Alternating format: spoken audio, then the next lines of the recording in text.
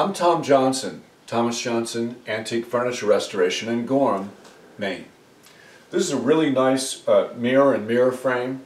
It's uh, American Empire, which would be from 1820 to 1840, somewhere in there. Uh, it's often called an ogee mirror because of the shape of this uh, molding here.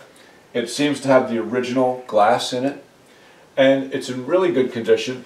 This was a thrift store find, uh, $4 here in Maine, and uh, it's got some obvious problems. A little bit of buckling along here, missing veneer in four places.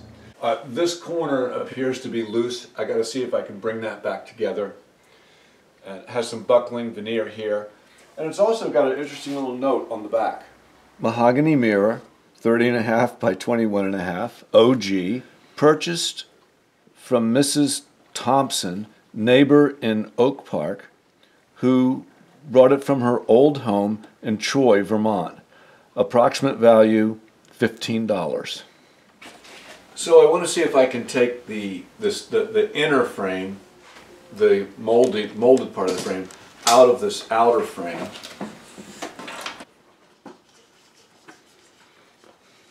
Actually, the first thing I want to do is maybe secure this little bit of uh, writing that's on the back of here, this note, secure it a little bit better.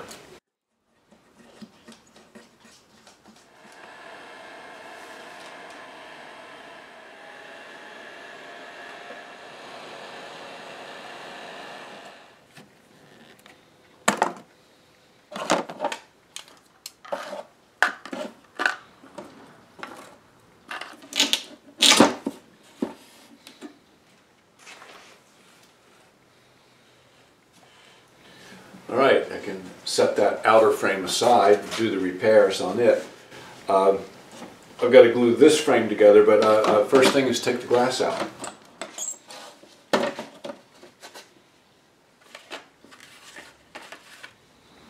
I'm not sure where these corner blocks went. Maybe, maybe they were holding the glass in. I think they were.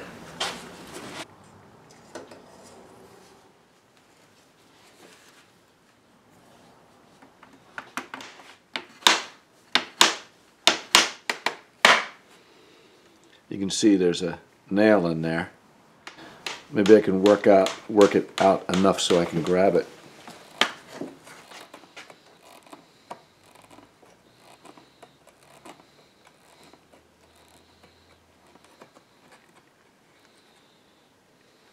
I'd say that was original equipment.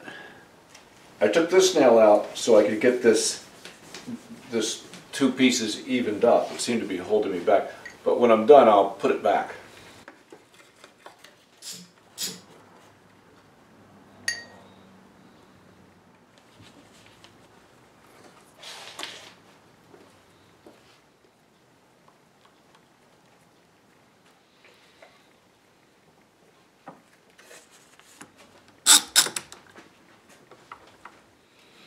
There's still a gap here in the middle, but it, it's come together in the two corners, so that's all you can do. I'll have to fill that in. All right, I've let this uh, dry overnight.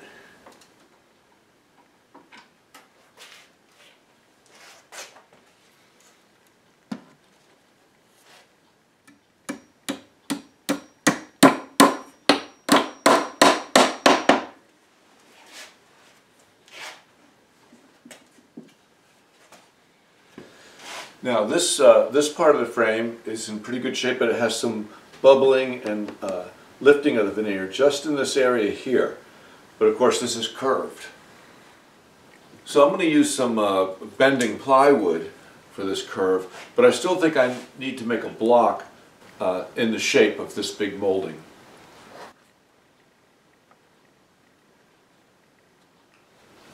I think I have a piece of wood here big enough. Uh, some of you may recognize this as the cutoff from my uh, extending the bed rails of a antique sleigh bed video.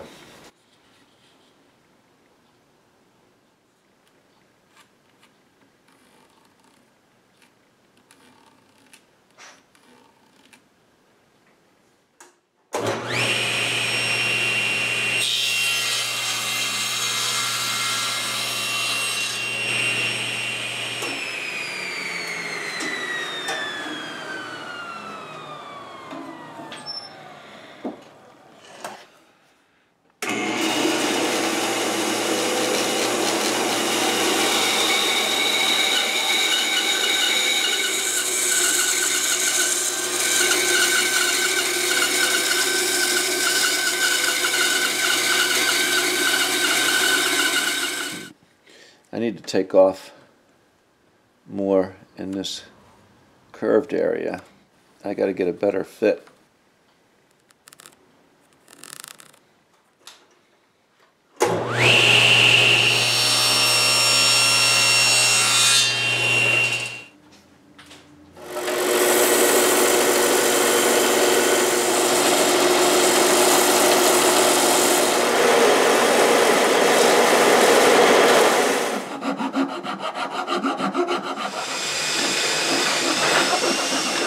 Wacky wood turned out to be too thick to make the curve, so instead I'm going to use a 16th inch piece of mahogany.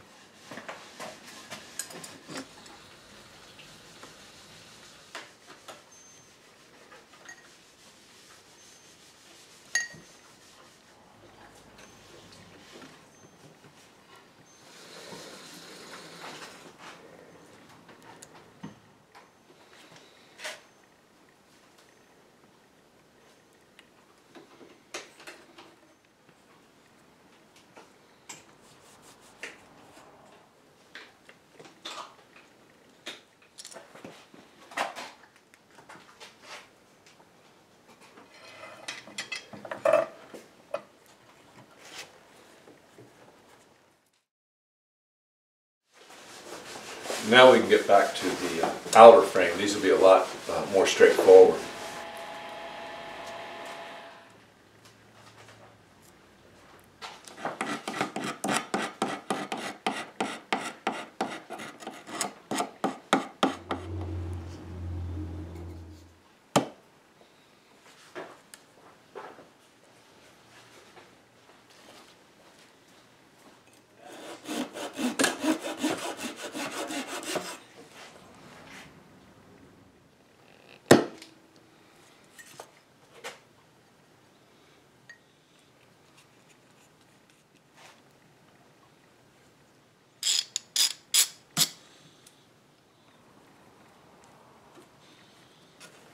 Yeah, there's a separation here in this corner. I should have glued that uh, first, uh, but I'll do it now.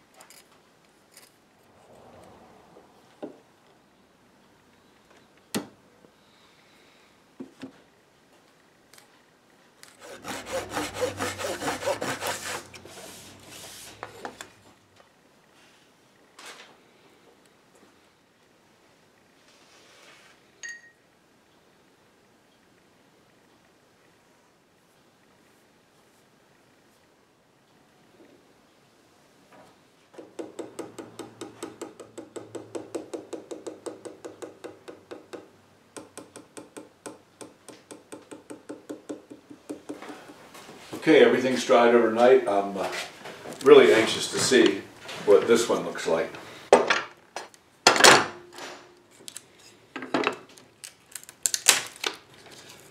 this old piece came off. I'll have to reglue that. This was a piece I didn't glue yesterday, but it popped off. This area seems good. I won't really know till I get that glue off. I think I'll take this glue off with a damp rag, and then I'll glue this piece. You have to be patient getting the glue off, but it does uh, just continually rubbing with the damp rag and it, it all came off. This is down really well. It's not uh, perfectly flat, but that's okay. We'll just polish it up. There's a little lump right there. It's not moving. Feels hard. Maybe I'll heat that up and glue it down. I've got to glue this piece anyway.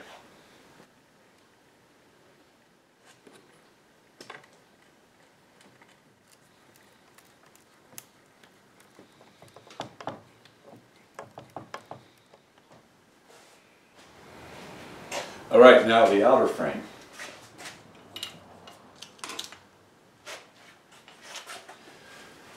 Well, okay, the, the patches look good. Uh, now I've got to trim them off and sand them.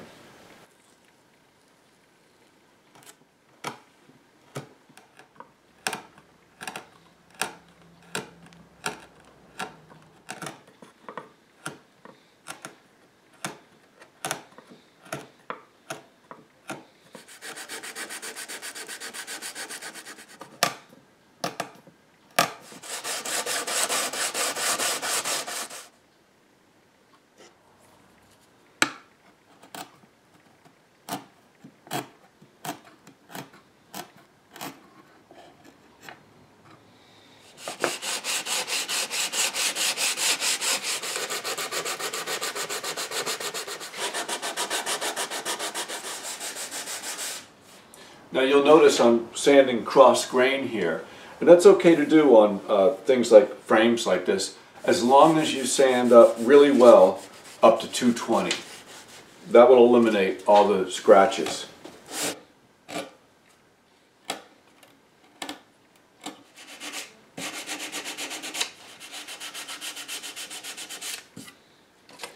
Yeah, and this is typical of a job like this uh, sanded this area. There was a crack in the veneer here that I thought wasn't big enough to put a piece of wood in. I was going to putty it. And when I went to do that, sure enough, there's loose veneer all around that.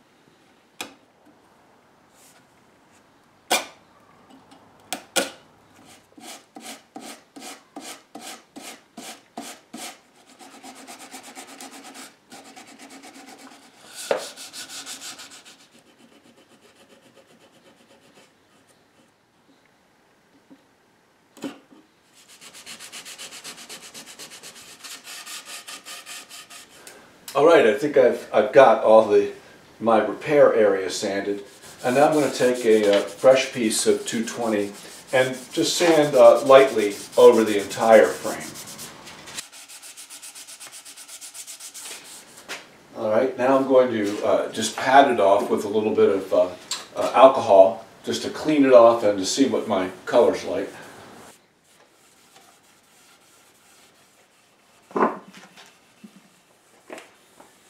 Okay, I've got some uh, walnut dye stain here, and I'm going to stain my new pieces of wood.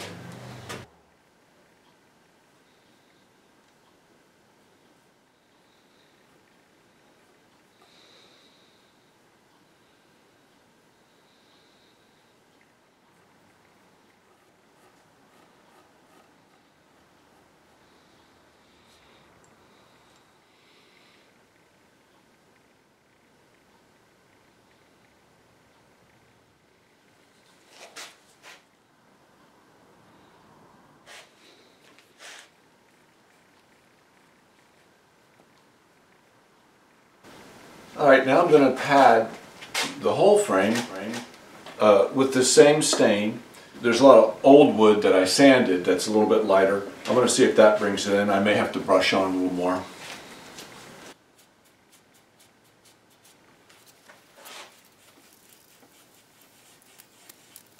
Okay, I'm going to let this dry, uh, then I'm going to give it a coat of shellac, and in the meantime I'll get back to the inner frame. That went down great. Now this inner frame uh, doesn't need to be sanded or anything. I'm going to take a damp cloth, get my uh, any glue that's on here off. Uh, then I'm going to pat it with a little alcohol just to clean it, and then I'll pat it with some French polish.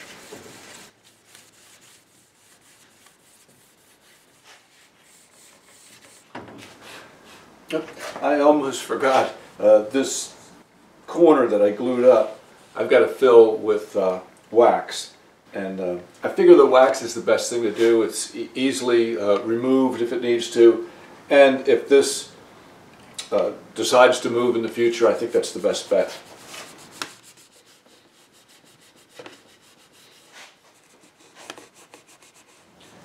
I'm going to spray this with the aerosol shellac because I want to uh, build up some finish on the new wood and the raw areas.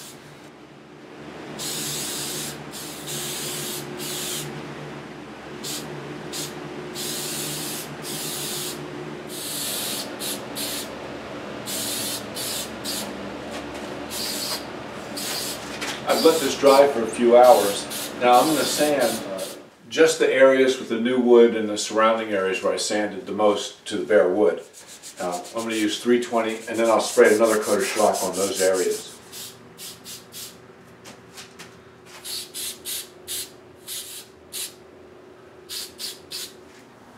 Alright, I've let this dry overnight.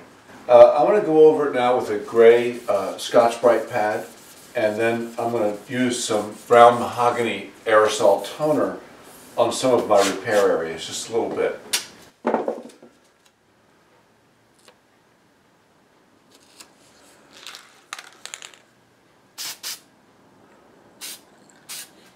Now I can immediately see that my uh, the brown mahogany was too red for this frame. I'm going to switch to uh, extra dark walnut. I just want to darken it a little bit. I definitely don't want it any redder.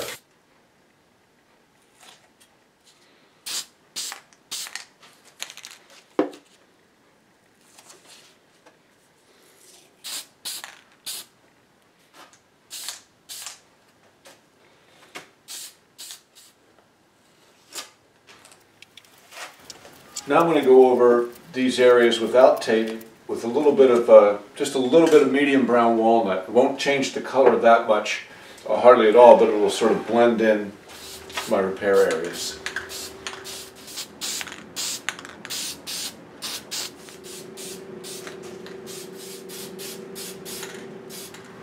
Okay, I'll, uh, I'm going to let that dry for a couple hours.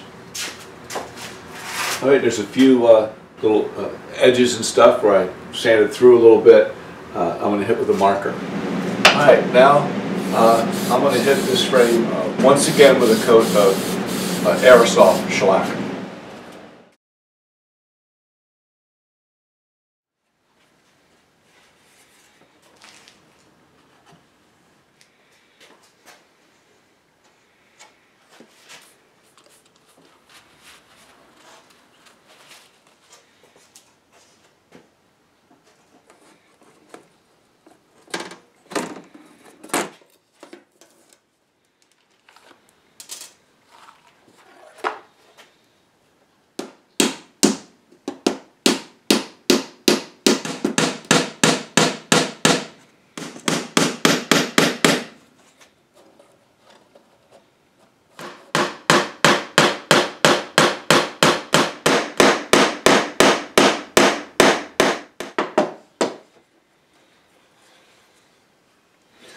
Now I'm going to use a, uh, I'm going to do a little French polishing on this frame. Uh, I'm going to use a product called Lac French. So I guess it's a, it's a padding lacquer that I like using.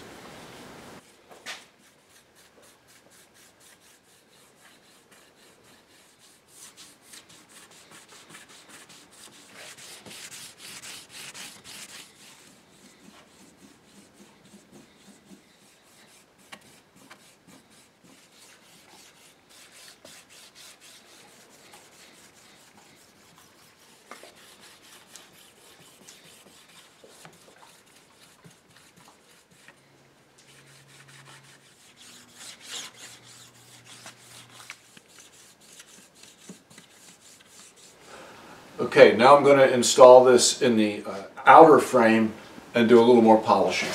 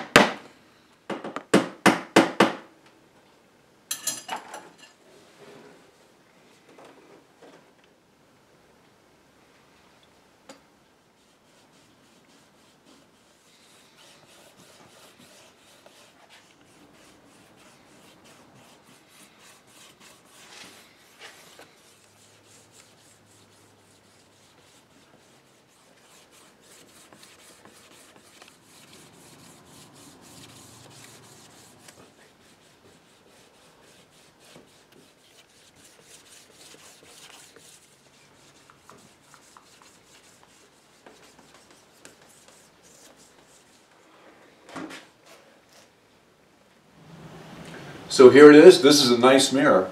Uh, real period antique, American Empire, say about 1830. And uh, four bucks at Goodwill. Plus about six hours of labor, but it looks pretty good.